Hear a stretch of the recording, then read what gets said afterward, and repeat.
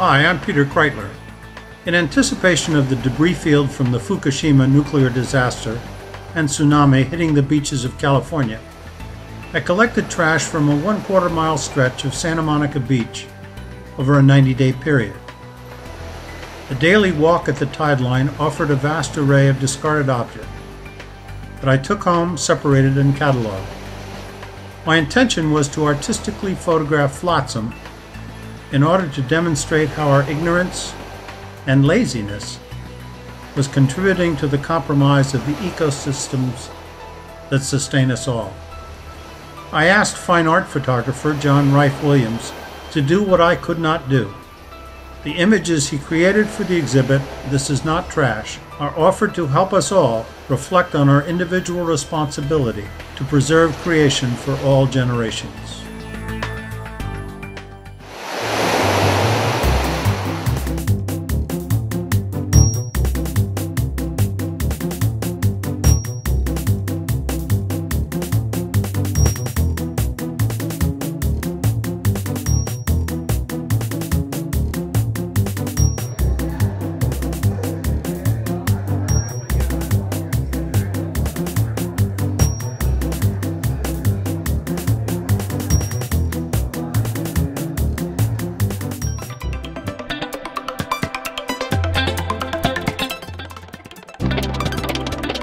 I think about this exhibit, lots of these photographs took days and days and lots and lots of frames and going back and forth between what I saw on the back of the camera and what I saw on the monitor. But this photograph was perhaps a little different. One of my favorite little tools to work with when I make photographs with small objects is a pair of chopsticks.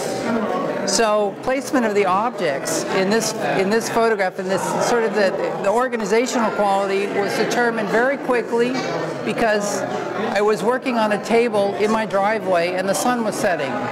So sometimes having pressure behind you, a little back pressure, is the best thing that can happen to you when you're trying to do something because it, it forces you to, to make quick decisions and you don't have time to, to rethink it. So I like that. I love that, and I, that's that's why I wanted to start with this photograph to share with you because it came together rather quickly.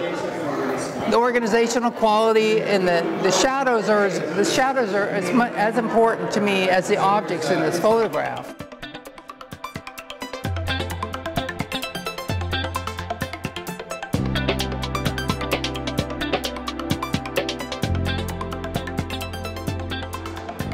Working with a regular form and repeating it was a challenge in this photograph.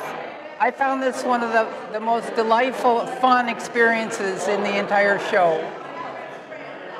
I set this photograph up and then I took a can of air. After I had it arranged and I thought it was just perfect, I used chopsticks to arrange these, these objects just exactly where I wanted. I placed them and I was actually watching through the back of the camera to see where they were falling. Then I took a can of air and I knocked them out of place.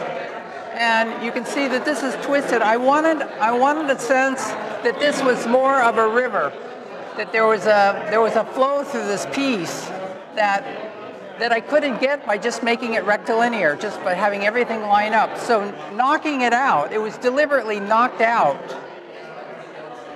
to to make it exciting, to make it dynamic for myself, and to take me to a place that I had never been before. So I hope it does that for you.